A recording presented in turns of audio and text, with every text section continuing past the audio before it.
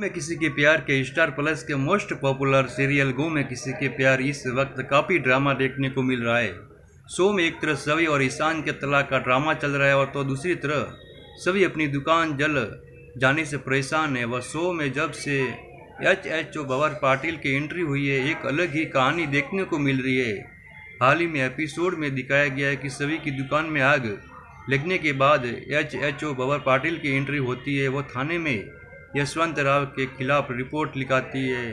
तो वही उसकी मुलाकात पाटिल से होती है। पहली बार नज़र में पाटिल सभी को अपना दिल दे बैठता है। सभी इस बात से अंजाम पाटिल की हर बात मानती है।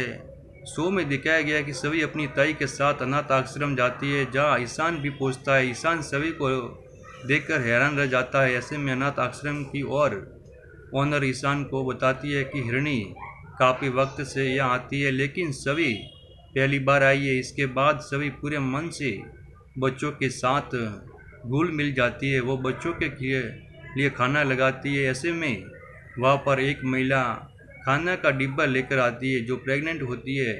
सभी इस हालत में भारी डिब्बा उठाता, देखकर गुस्सा करती है। इसके बाद सभी खुद ही सारा काम करती है।